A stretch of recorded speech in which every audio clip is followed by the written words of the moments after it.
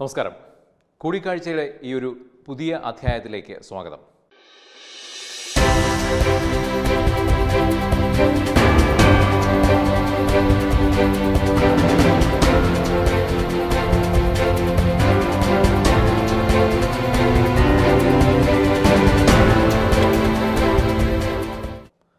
ഇന്ന് കൂടിക്കാഴ്ചയിൽ നമ്മുടെ അതിഥിയായി എത്തുന്നത് ജനപക്ഷ നേതാവും മുൻ എം എൽ എയുമായ പി സി ജോർജാണ്. പൂഞ്ഞാറിലുള്ള അദ്ദേഹത്തിന്റെ വസതിയിൽ നിന്ന് വെർച്വലായാണ് നമ്മുടെ ഈ ഒരു സംഭാഷണ പരമ്പരയിലേക്ക് അദ്ദേഹം എത്തിച്ചേരുന്നത്. ശ്രീ പി സി ജോർജ് സ്വാഗതം കൂടിക്കാഴ്ചയിലേക്ക്. കഴിഞ്ഞ നാൽപ്പത് വർഷമായി അതായത് നാല് പതിറ്റാണ്ടോളം ആയി എം എൽ എ എന്നൊരു സ്ഥിരം പദവിയിൽ ഇരുന്ന ആളാണ് താങ്കൾ. ഒരുപക്ഷെ ആദ്യമായിട്ടാണ് താങ്കൾ പരാജയത്തിന്റെ ഒരു കയ്പ് രുചി എന്ന് പറയാൻ കഴിയില്ല അതൊരു കയ്പേറിയ അനുഭവമാണ്. അതുകൊണ്ട് തന്നെ ആ ഒരു കയ്പ് അനുഭവിക്കുന്നത് എങ്ങനെ കാണുന്നു ഈ ഒരു പരാജയത്തെ? തോൽവി വിലയിരുത്തുന്ന എന്റെ കയ്യിലെ സൂക്ഷ്മക്കുറവാണ് പരാജയത്തിന് പ്രധാന കാരണം. നമ്മൾ മറ്റുള്ളവരെ കുറ്റം പറഞ്ഞിട്ട് കാര്യമില്ല. പല കാര്യങ്ങളുണ്ട്. ഒന്ന് ഞാൻ ഈ യു ഡി എഫുമായിട്ട് സഹകരിച്ച് പോകുന്നു എന്ന് ഒരു തീരുമാനം ഏകദേശം ഉണ്ടായിരുന്നു. അത് ഈ പൂഞ്ഞാർ നിയമുള്ള രണ്ട് താലൂക്ക് ഒന്ന് പൂഞ്ഞാറും ഒന്ന് കാഞ്ഞിരപ്പള്ളി. രണ്ടിടത്ത് അയ്യഞ്ച് പഞ്ചായത്ത് ഇതിനായിട്ട് ഈ പൂഞ്ഞാറിലെ മീനച്ചി താലൂക്ക് ഒരു പഞ്ചായത്ത് മുനിസിപ്പാലിറ്റിയാണ് അത് ഞാൻ തന്നെ ആക്കിയത്. അപ്പം അയ്യഞ്ച് വീതം പത്തിൽ. എനിക്ക് പറ്റിയ അബദ്ധം. ഒന്നിച്ചു പോകുന്നു കോൺഗ്രസുമായിട്ടെന്ന് അത് ഉമ്മൻചാണ്ടി രമേശ് വാക്ക് പറഞ്ഞു അതിന്റെ അടിസ്ഥാനത്തിൽ ഞാൻ എനിക്ക് പറ്റിയ അബദ്ധം എന്താണെന്ന് വെച്ചാൽ കാഞ്ഞിരപ്പള്ളി താലൂക്കിലുള്ള അഞ്ച് പഞ്ചായത്തിൽ ഞാൻ ബൂത്ത് കമ്മിറ്റി പ്രത്യേകമായിട്ട് ഉണ്ടാക്കിയിരുന്നില്ല. ഉണ്ടാക്കേണ്ട കാര്യമില്ല കാരണം കോൺഗ്രസ് ബൂത്ത് കമ്മിറ്റി ഉണ്ട് കോൺഗ്രസ് ബൂത്ത് കമ്മിറ്റി ഉള്ളപ്പോൾ ഞാനും കൂടെ ബൂത്ത് കമ്മിറ്റി ഉണ്ടാക്കിയാൽ പരസ്പരം ഈഗോ പ്രശ്നം ഉണ്ടാവും എന്തിനത് അതിന്റെ ആവശ്യമില്ലല്ലോ എന്ന നിലയിൽ ഞാൻ നിന്നു എന്നുള്ളതാണ് ഏറ്റവും വലിയ അബദ്ധം. ആ അഞ്ച് പഞ്ചായത്തിൽ ഞാൻ താഴെ പോയി. ഈ അഞ്ച് പഞ്ചായത്തിൽ ഈരാറ്റോട്ട് ഒഴിച്ച് ബാക്കി നാല് പഞ്ചായത്തിൽ ഞാൻ ലീഡ് ചെയ്തു. ഇവിടെ പറ്റിയ മറ്റൊരു മറ്റൊരു കുഴപ്പം അതാണ്. അത് മുസ്ലിം കമ്മ്യൂണിറ്റിക്കകത്ത് എനിക്കെതിരെ ഭയങ്കര വർഗീയ പ്രചരണം ഉണ്ടായിരുന്നു. ഞാനത് മനസ്സിലാക്കാൻ അവിടെ താമസിച്ചു. എന്റെ ആളുകളൊക്കെ എനിക്കറിയാം. ഞാൻ എന്റെ ഒരു ഏറ്റവും വേണ്ടപ്പെട്ട. ഞാൻ ജീവിപ്പായിരുന്നപ്പം വേണ്ടപ്പെട്ട സ്ഥാനത്ത് വെച്ച് ശമ്പളം വാങ്ങിക്കൊണ്ടിരുന്ന ഒരാൾ കൈക്കൂലി മടിച്ചു ഞാൻ പുറത്താക്കി. ആ വിരോധത്തിന് അവൻ കാണിച്ച ഒരു കള്ളപ്രചരണം. ആ കള്ളപ്രചരണം പ്രത്യേകിച്ച് നോമ്പുകാലമായതുകൊണ്ട് ഓരോ കുടുംബങ്ങളിലും കയറി പ്രചരണം നടക്കുന്നത് ഞാൻ അറിഞ്ഞില്ല. എല്ലാവരും പള്ളിയിലുണ്ട്. എനിക്കത് മനസ്സിലാക്കാൻ കഴിഞ്ഞില്ല. അതിന്റെ അടിസ്ഥാനത്തിൽ അവരെന്നെ പറ്റി വളരെ മോശമായിട്ട് പലർക്കും പറഞ്ഞു. ഇപ്പം ഞാനും തിരിച്ചു വർത്താറുണ്ട് പിന്നെ ജിഹാദികളുടെ പ്രവർത്തനം. ജിഹാദികൾ മുഴുവൻ പിണറായി വിജയന്റെ മുഖ്യമന്ത്രിയാക്കാൻ വേണ്ടിയിരിക്കുക ആ ജിഹാദി പ്രചാരണം പ്രചരണം. അത് ഈ മുസ്ലിം വിരോധ പ്രചരണം എല്ലാം കൂടെ ഒന്ന് ഒന്നിച്ച് ചേർന്ന് മുസ്ലിമായ മുസ്ലിം മുഴുവൻ അപ്രവൃത്തി വേറെ വലിയ അബദ്ധം ഞാൻ പറഞ്ഞു ക്രിസ്ത്യൻ കമ്മ്യൂണിറ്റി ന്യൂനപക്ഷം എന്ന നിലയിൽ ക്രിസ്ത്യൻ കമ്മ്യൂണിറ്റി അപ്രവൃത്തി ഞാൻ ഈ ജിഹാദികളുണ്ട് എന്ന് പറഞ്ഞതുപോലെ തന്നെ ഈ ലവ് ജിഹാദ് ഉണ്ടെന്ന് പറഞ്ഞാണ് ലവ് ജിഹാദ് ഉണ്ടെന്ന് പറയുന്നതിൽ തോപ്പിക്കുക എന്നുള്ളതായിരുന്നു ജിഹാദ് ജിഹാദി പാർട്ടികളുടെ ഉദ്ദേശം. അവരത് എല്ലായിടത്തും പ്രാവർത്തികമാക്കി. ഇവിടെയും ലവ് ജിഹാദ് ഉണ്ടെന്നുള്ള സത്യമല്ല. എനിക്ക് ബോധ്യപ്പെട്ട കാര്യം പറയാതിരിക്കാൻ പറ്റില്ല ഞാനിപ്പോഴും അതിൽ ഉറച്ചു നിൽക്കുന്നതാണ് ഇപ്പോഴും ഉണ്ടെന്ന് ഉറച്ചു വിശ്വസിക്കുന്നു മാത്രമല്ല ഈ അടുത്ത കാലത്ത് വളരെ മോശമായ രീതിയിൽ ജിഹാദ് ലവ് ജിഹാദ് പ്രസിഡന്റ് നടക്കുന്നത് എനിക്കറിയാം. ഞാൻ അതിനെതിരായിട്ട് ശക്തമായ നിലപാട് സ്വീകരിച്ചു എന്നതും അവരെ കുഴപ്പത്തിലാക്കിയിട്ടുണ്ട്. ഈ ലവ് ജിഹാദ് ഉണ്ടെന്ന് പറഞ്ഞാലുള്ള അപകടം എന്താന്ന് പറഞ്ഞാൽ ജോസ് കെ മാണി. അയാൾ സി പി എം വോട്ട് ചെയ്താൽ അയാൾ അവിടെ ജയിച്ചു പാലായി ജോസ് കെ മാണി ജയിക്കുമായിരുന്നു അയാൾ തോക്കാൻ കാരണം അയാൾ ലവ് ജിഹാദ് ഉണ്ടെന്ന് പറഞ്ഞോളൂ. ഒരു മണിക്കൂറിനും വിഡ്രോ ചെയ്തു. പക്ഷെ ഉണ്ടെന്ന് പറഞ്ഞവന് വിടാൻ പാടില്ലെന്ന് തീരുമാനിച്ചത് സി പി എം ആണ് കാലി വരുന്നവർ മനസ്സിലായില്ലേ? അപ്പൊ അങ്ങനെ ഈ ജിഹാദികളുടെ ഒരു ഭരണം ഇപ്പൊ കേരളത്തിലുണ്ടായി. പിണറായി വിജയന്റെ ആയിട്ട് കൂട്ടണ്ട പിണറായി വിജയന്റെ പറഞ്ഞ് ആരും ആഘോഷിക്കേണ്ട. അത് ജിഹാദികളുടെ ഒരു ഭരണമാണ് വരാൻ പോകുന്നത്. അത് എല്ലാവരും നേരിട്ട് ബോധ്യപ്പെടുമ്പോൾ നന്നായിക്കൊള്ളും എന്നായിട്ട് ശരിയാണ് പി സി ജോർജ്. അവിടെ മറ്റൊരു ചോദ്യം പ്രസക്തമാണ്. കാരണം ഈ തെരഞ്ഞെടുപ്പ് ഫലം വരുന്നതിന് തൊട്ട് മുമ്പ് താങ്കൾ ഒരു പ്രസ്താവന നടത്തിയിരുന്നു. ഒരുപക്ഷെ എല്ലാ മാധ്യമങ്ങളും അത് വലിയ പ്രാധാന്യത്തോടു കൂടി തന്നെ സംപ്രേഷണം ചെയ്യുകയും ചെയ്തിരുന്നു. താങ്കളുടെ പ്രസ്താവന ഇപ്രകാരമായിരുന്നു താനും അതായത് താങ്കളും കെ സുരേന്ദ്രനും ചേർന്ന് തീരുമാനിക്കും കേരളം ആര് ഭരിക്കണം എന്നായിരുന്നു ഇലക്ഷൻ റിസൾട്ട് വരുന്നതിന് രണ്ട് ദിവസം മുമ്പ് അങ്ങ് നടത്തിയ ഏറ്റവും സുപ്രധാനമായ ഒരു പ്രസ്താവന. എന്തിന്റെ അടിസ്ഥാനത്തിലാണ് അങ്ങ് അങ്ങനെ ഒരു പ്രസ്താവന നടത്തിയത്? പക്ഷേ ആ പ്രസ്താവന അസ്ഥാനത്തായി പോയി എന്ന് ഇപ്പോൾ തോന്നുന്നുണ്ടോ? എവിടെയാണ് താങ്കളുടെ കണക്കുകൂട്ടലുകൾ തെറ്റിയത്? എനിക്ക് ഞാൻ പറഞ്ഞു എന്റെ ഒരു കണക്ക് എന്താണെന്ന് ചോദിച്ചാൽ ഈ ജിഹാദികൾ ഈ രീതിയിലൊരു നീക്കം നടത്തുമെന്നും മുസ്ലിം ആ ജിഹാദികളൊപ്പം അണിചേരുമെന്ന് ഞാൻ പ്രതീക്ഷിച്ചിരുന്നില്ല. മാന്യന്മാരായ മുസ്ലിം സഹോദരങ്ങളാണ് കൂടുതൽ പക്ഷെ ഇത്തവണ സംഭവിച്ചത് പിണറായി വിജയന്റെ വളരെ ബുദ്ധിപരമായ അത് ഫാരിസ് അബൂബക്കറാണെന്നാണ് ഞാൻ മനസ്സിലാക്കുന്നത്. ബുദ്ധിപരമായ നീക്കത്തിന്റെ അടിസ്ഥാനത്തിൽ ഈ യൗജിഹാദികളുടെ ജിഹാദികളുടെ നീക്കത്തോടൊപ്പം മുസ്ലിം സാൻ കമ്മ്യൂണിറ്റി പങ്കുകയാണ് അതാണ് മുസ്ലിം ലീഗ് തകർന്നു പോയത്. മുസ്ലിം ലീഗ് പതിനഞ്ചായി പോയില്ലേ? കാരണം അതാണ്. അങ്ങനെ വന്നപ്പം സ്വാഭാവിക അതിന് മുമ്പ് എന്റെ കണക്കനുസരിച്ച് ജിഹാദ് കോട്ട ഇവിടെ ഇവിടെ മൂവായിരം വോട്ടില്ല. ഞാനിങ്ങനെ നോക്കുന്നു. പക്ഷേ ഈ മുസ്ലിം കമ്മ്യൂണിറ്റി എൺബ്ലോക്ക് വന്നപ്പോൾ പതിനയ്യായിരം വോട്ടായി. ഇവിടെ ക്രിസ്ത്യാനിൽ വന്നപ്പോൾ ഞാൻ പരാജയപ്പെട്ടു. അതുപോലെ തന്നെ കേരളത്തിലെ ഇതുപോലുള്ള മുസ്ലിം ജിഹാദികളുടെ ശ്രമത്തിന് ഫലമായി മുസ്ലിങ്ങളെ എന്ന നിലയിൽ അവർ ഒന്നിച്ചു. സംഘടകരായി യോജിപ്പ് അല്ലെങ്കിൽ ഞാൻ കണക്കാക്കിയതനുസരിച്ചാണ് കോൺഗ്രസിന് ഇപ്പൊ ഞാൻ നേരത്തെ പലയിടത്തും പറഞ്ഞു മുപ്പത് സീറ്റാണ് ജിഹാദികളുടെ വകയായിട്ട് സി പി എമ്മിന് കൊടുത്തിട്ടുള്ളത്. ഞാൻ ഓരോന്ന് കണക്കൂടിയിടാം ആ മുപ്പത് സീറ്റ് ഞാൻ നോക്കിയപ്പോണ്ടെങ്കിൽ ഇപ്പോൾ നാൽപ്പത്തൊന്ന് മുപ്പത് എഴുപത്തൊന്ന് മനസ്സിലായി. രണ്ടോ മൂന്ന് പോയാലും അന്നത്തെ എന്റെ കണക്ക് അനുസരിച്ച് ഒരു അറുപത്തെട്ട് സീറ്റ് എൽ ഡി എഫോ അറുപത്തേഴ് സീറ്റ് യു ഡി എഫ് അതിനപ്പുറത്ത് വരും ഞാൻ കണക്കാക്കില്ല അങ്ങനെ ഇപ്പം അഞ്ച് സീറ്റ് അപ്പുറം കുറയും വരും. ആ അഞ്ച് സീറ്റ് മൂന്ന് സീറ്റ് ഞാൻ കണക്കാക്കി ബി ജെ പി ലഭിക്കുന്ന ബി ജെ പി തോപ്പിച്ച് അത് കണ്ടില്ലേ? പിന്നെ ഒരു സീറ്റ് ഇവർക്ക് കിട്ടുമെന്ന് ഞാൻ കണക്കാക്കി നമ്മൾ ട്വന്റി ട്വന്റി അങ്ങനെ എന്നാൽ ഞാനും ജയിക്കും. അങ്ങനെ മൂന്നുണ്ട് അഞ്ച് അപ്പോൾ ഭൂരിപക്ഷം ഇല്ലാത്തപ്പോൾ സ്വാഭാവികം ഞങ്ങളുടെ കയ്യിൽ ഞങ്ങളുടെ തീരുമാനം വരും. സ്വാഭാവികമായി ഏറ്റവും സീനിയർ എം എൽ എ എന്തെങ്കിലും എനിക്കാണുള്ള ഞാൻ തന്നെയായിരിക്കും അതിൽ ഏറ്റവും അധികാരികമായി പറയാൻ കഴിയുന്ന ആൾ അങ്ങനെ വരുമ്പോൾ ഞങ്ങൾ നിശ്ചയിക്കുന്നയാളാണ് പ്രത്യേകിച്ച് ബി ജെ പിയുടെയും എന്റെയും കൊണ്ട് കൂടെ തീരുമാനം പറയുന്ന ആൾ മുഖ്യമന്ത്രിയാവും. അത് സി പി എം ആണോ യു ഡി എഫ് ആണോ ഞങ്ങൾ തീരുമാനിച്ചില്ല. ഇലക്ഷൻ കഴിയട്ടെ എന്ന് വെച്ചിരിക്കുകയായിരുന്നു? അതാണ് സത്യം. അത് കറക്റ്റ് കണക്കാണത്. പക്ഷെ അതെല്ലാം തകർത്തത് ജിഹാദി താങ്കൾ ഈ തെരഞ്ഞെടുപ്പിന് തൊട്ടു മുമ്പ് ലവ് ജിഹാദിനെ കുറിച്ച് വളരെ വിശദമായി തന്നെ ഒരു പ്രസ്താവന നടത്തിയിരുന്നു. ലവ് ജിഹാദ് കേരളത്തിൽ വ്യാപകമാണെന്നും പ്രത്യേകിച്ചും താങ്കളുടെ ഭാഗങ്ങളിൽ പൂഞ്ഞാർ ഉൾപ്പെടെയുള്ള മേഖലകളിൽ ലവ് ജിഹാദിൽപ്പെട്ട് ഒട്ടനവധി ഈ യുവതികൾ ഇതിന്റെ കെണിയിൽ പെട്ടിട്ടുണ്ടെന്നൊക്കെ അങ്ങേ അന്ന് പത്രമാധ്യമങ്ങളിലൂടെ പ്രതികരിക്കുകയുണ്ടായി. ഈ ലവ് ജിഹാദ് പരാമർശം ആണോ അങ്ങയുടെ പരാജയത്തിനേറ്റ ഒരു കാരണം? ഇപ്പോഴും താങ്കൾ ആ, അത്തരം പ്രസ്താവനകളിൽ ഉറച്ച് നിൽക്കുന്നുണ്ടോ? നൂറ് ശതമാനം ഇപ്പോഴും ഞാനതിൽ ഉറച്ചു നിൽക്കുന്നു. ലവജികാതം ഉണ്ടെന്ന് മാത്രമല്ല ഈ അടുത്ത കാലത്ത് അവിടെ വർദ്ധിച്ചു വന്നു എന്ന് മാത്രമല്ല ഇവിടെ അടുത്ത് കാഞ്ഞിരപ്പള്ളിയോട് ചേർന്നൊരു ഒരു ഒരു ഒരു പ്രദേശത്ത് ആറ് പെൺകുട്ടികൾ ഇപ്പം ലവജികാതിപ്പെട്ട് കിടക്കുക പതിനെട്ട് വയസ്സാകുമ്പോൾ സ്ഥലം വിടാൻ നിൽക്കുക.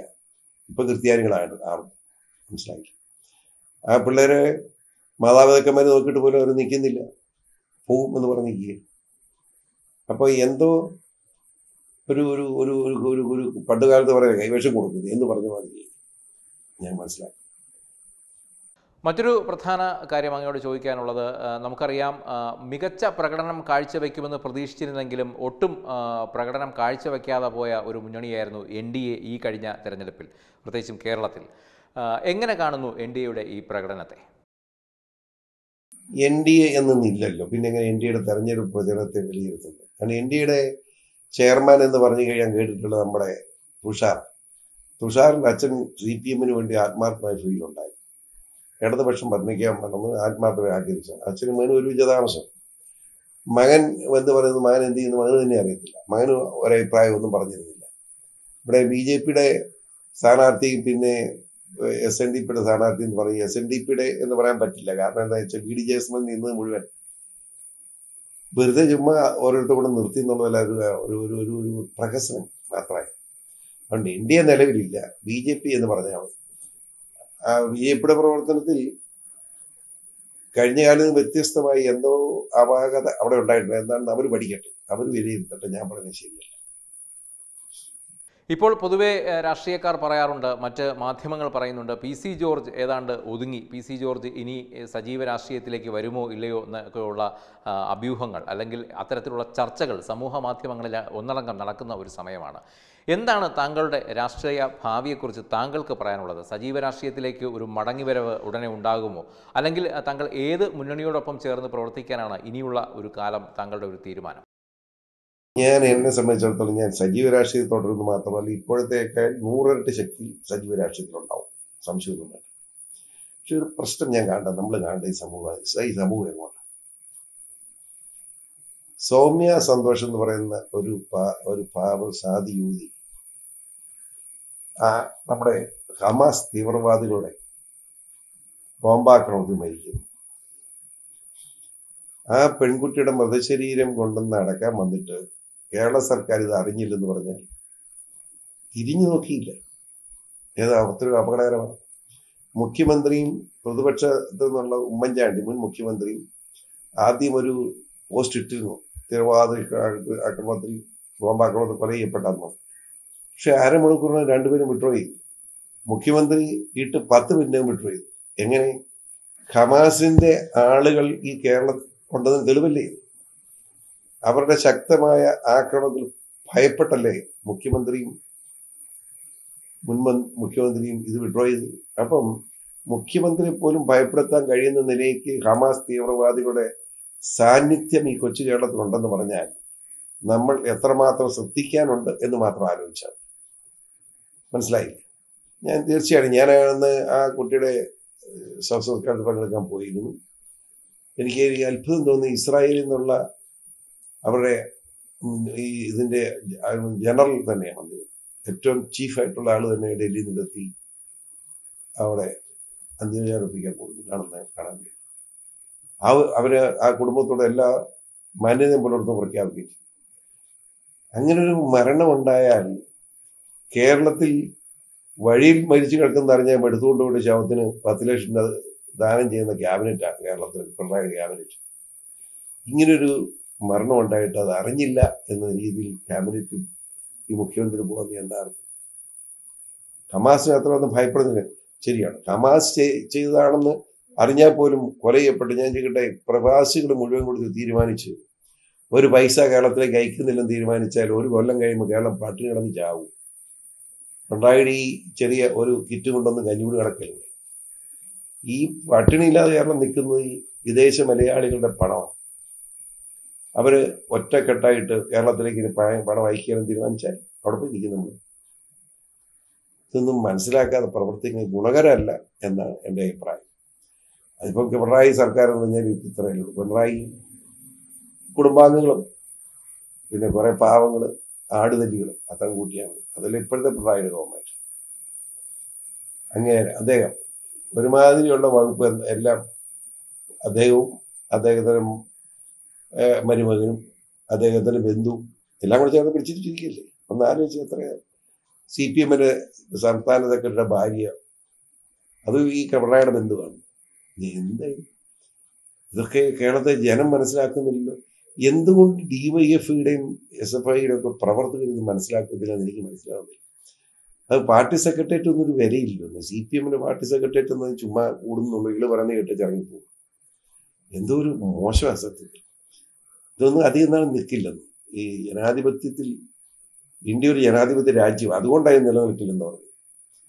ഇപ്പൊ മറ്റൊരു അറേബ്യൻ രാജ്യത്തെങ്ങാണ് നിലനിൽക്കും. കാരണം ഈ ഏകാധിപത്യത്തിൽ തോക്കും കൊണ്ടയും കൊണ്ടുകളും പ്രൗഢികളും കൊണ്ട് പിടിച്ചു നിർത്താൻ പറ്റും. ഇവിടെ അത് പറ്റില്ല. ജനാധിപത്യം എപ്പോഴെങ്കിലും വീണേ പറ്റും.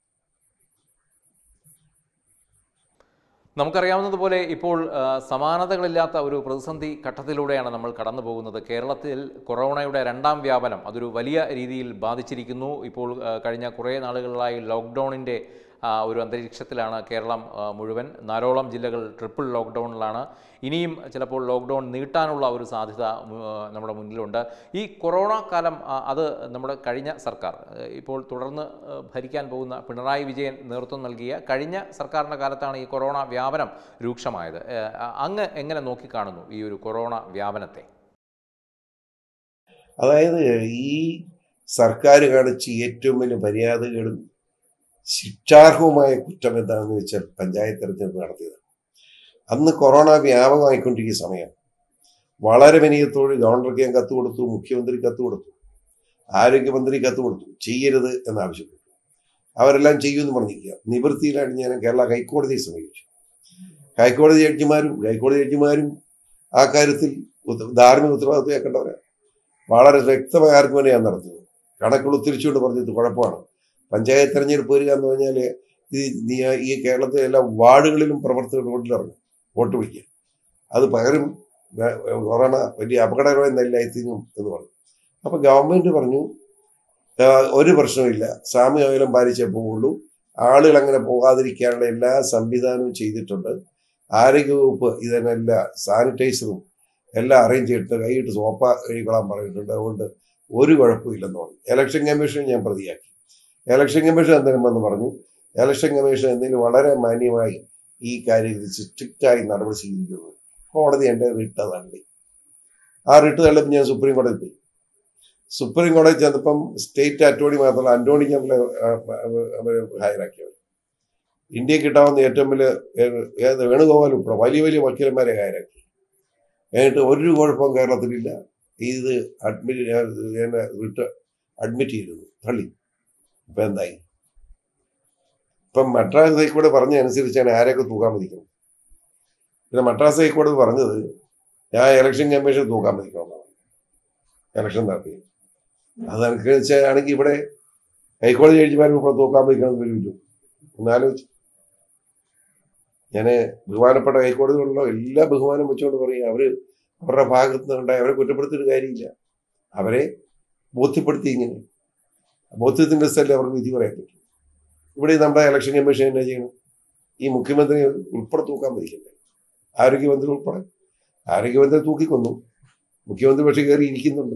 അങ്ങനെ കൂടെ തൂക്കിക്കൊള്ളില്ലേ ഞാനതാ പറഞ്ഞു ഹൈക്കോടതി വിധി ഞാൻ പറഞ്ഞു. എന്റെ അഭിപ്രായത്തിൽ ഇവരെല്ലാം ധാർമ്മിക ഉത്തരവാദിത്വം എടുത്ത് ശിക്ഷ ഏറ്റുവാങ്ങേണ്ടവരാണ് എന്റെ. ഒരു മൂന്ന് കൊല്ലം തടവിന് ശിക്ഷിക്കപ്പെട്ടവർ ഇവരെല്ലാം എന്റെ അഭിപ്രായം. കൊറോണയെ പോലെ തന്നെ മറ്റൊരു വലിയ വിപത്താണ് ഇപ്പോൾ കേരളം നേരിട്ടുകൊണ്ടിരിക്കുന്നത്. വലിയൊരു കടബാധ്യതയിൽ നിന്നാണ് കഴിഞ്ഞ ദിവസം സത്യപ്രതിജ്ഞ ചെയ്ത് അധികാരമേറ്റ പിണറായി വിജയൻ സർക്കാർ ഭരണത്തിലേക്ക് കടക്കുന്നത്. ഭരണം തുടങ്ങുന്നത് തന്നെ വലിയൊരു കടബാധ്യതയുമായിട്ടാണ്. എങ്ങനെ നോക്കിക്കാണുന്നു ഈ ഒരു അന്തരീക്ഷത്തെ? ഈ കടബാധ്യത തുടങ്ങുന്നു മാത്രമല്ല. ഈ പിണറായി വിജയൻ കൊണ്ട കിറ്റ് കൊടുത്തു ഈ പാവങ്ങളെല്ലാം കൂട്ടി ഈ കിറ്റ് ആര് കൊടുത്തതാ? കേന്ദ്ര ഗവൺമെന്റ് കൊടുത്ത ഇവിടെ കുറെ ബി ജെ പിയുടെ കുറെ നേതാക്കൾ പറയും അവന്മാരത് മിണ്ടാ കിടക്കും. ഇപ്പോ നേരത്തെ ഇപ്പൊ എത്രയാ? ഇപ്പൊ എഴുപത്തി ഏഴായിരം എഴുപത്തി ഏഴായിരം മെട്രിക് ലക്ഷം മെട്രിക് ടൺ മറ്റോ ഭക്ഷ്യധാന്യം കേരളത്തിന് അലോട്ട് ചെയ്ത പ്രധാനമന്ത്രി. കാരണം ഇവിടെ പട്ടിണിയാകാതിരിക്കാൻ ആ പണം എടുത്ത് ആ അരി എടുത്തുകൂടെ കൊടുത്തേച്ച് പിണറായിട്ട് തന്നാ പറയുന്നത്. ഒന്ന് ആലോചിച്ച്. ഈ ഗവൺമെന്റ് അഞ്ചു കൊല്ലം മുമ്പ് അധികാരത്തിൽ ഒന്നേകാൽ ലക്ഷം കോടി രൂപ കടം അന്ന് ഉമ്മൻചാണ്ടിയുടെ ഗവൺമെന്റ് പിരിയുമ്പോൾ ഉമ്മൻചാണ്ടി ഗവൺമെന്റ് എന്ന് പറഞ്ഞാൽ അമ്പത്തിയേഴ് മുതൽ ആകെ കടമായി മുഴുവൻ ഒന്നേകാൽ ലക്ഷം കോടി രൂപ. അതേ സ്ഥാനത്താണ് ഈ അഞ്ചു കൊല്ലം കൊണ്ട് മൂന്നര ലക്ഷം കോടി രൂപ കടമായി മൂന്നേകാലായിരുന്നു മൂന്ന് മുപ്പത്തഞ്ച് എന്നൊക്കെ പറഞ്ഞാൽ മൂന്നേകാൽ ലക്ഷം കോടി രൂപയ്ക്ക് മുകളിൽ കടമായി ഇതെങ്ങനെ തീർക്കും ഇത്? ഞാൻ ഒരു പൈസയും ഗവൺമെന്റ് മേടിച്ചിട്ടില്ലാത്തതുള്ളത് കടം മേടിക്കാൻ ഞാൻ കടം മേടിക്കാൻ കൂടിയിട്ടില്ലല്ലോ. എന്നെ എനിക്ക് ഒരു ലക്ഷം രൂപ കടമായി കണക്കനുസരിച്ച് മനസ്സിലായില്ലേ? മൂന്നര കോടി ലോണുണ്ട് അപ്പൊ മൂന്നര ലക്ഷം കോടി രൂപ കടം എന്ന് പറഞ്ഞാൽ എങ്ങനെ മുന്നോട്ട് പോയി ഗവൺമെന്റ് റേഷൻ നിൽക്കും. പിന്നെ കേന്ദ്ര ഗവൺമെന്റിനോട് കഞ്ഞി കൊടുത്തോളൂ എന്നുള്ള തന്റെ ഇടമാണ് എനിക്കൊരു സംശയം. കേന്ദ്ര പ്രധാനമന്ത്രിയും പിണറായിയുടെ ഏതാണ്ട് ഒളിച്ചു കച്ചവടമുണ്ടെന്ന് എനിക്ക് തോന്നുന്നു. അതുകൊണ്ട് മാത്രമാണ് കാരണം ഈ മൂന്ന് ലക്ഷത്തിൽ കൂടുതൽ രൂപ എടുക്കാൻ മൂന്ന് ലക്ഷം കോടി രൂപ കടമെടുക്കാൻ നമുക്ക് നിയമം അനുസരിച്ച് പറ്റിയല്ല ആ മൂന്ന് ശതമാനം എന്നതിന്റെ ആ പരിധി വിട്ടെടുക്കാൻ കേന്ദ്ര ഗവൺമെന്റ് അനുമതി കൊടുത്ത കേരളത്തിനുണ്ട്. അതാ രസം. അപ്പോൾ പ്രധാനമന്ത്രി പ്രത്യേകമായ ബന്ധം കൊണ്ടാണ് ഈ കടം കൂടുതൽ കിട്ടിയത്. ഇനി കൂടുതൽ എടുക്കാൻ പറഞ്ഞിരിക്കുക അതായത് അവസാനം പോയി നമ്മൾ വലിയ കയത്തി വീഴും. പട്ടിണി കിടന്ന് വേണ്ടി വരും. സ്ട്രോങ് മറ്റു രാജ്യങ്ങൾ മറ്റു സ്റ്റേറ്റുകൾ ഇതുപോലെ കടം കൊടുക്കാൻ പറ്റും അവർക്ക് പ്രശ്നവും. അത് അവസാനം റേഷൻ പോലും ഇല്ലാത്ത ഗതിയിലേക്ക് നമ്മൾ പോകുമെന്ന് ഞാൻ ഭയപ്പെടുന്നു. ഏതായാലും വളരെ ചുരുങ്ങിയ സമയം വെർച്വലായിട്ടാണെങ്കിലും തത്വമൈ ന്യൂസിന്റെ കൂടിക്കാഴ്ചയിൽ പങ്കെടുത്ത താങ്കൾക്ക് നന്ദി അറിയിക്കുന്നു. ഒപ്പം നേരത്തെ താങ്കൾ സൂചിപ്പിച്ചതുപോലെ സജീവ രാഷ്ട്രീയത്തിൽ വീണ്ടും പൂഞ്ഞാറിന്റെ വെളിച്ചമായി നിറയട്ടെ എന്ന് പ്രത്യാശിക്കുന്നു. നന്ദി നമസ്കാരം.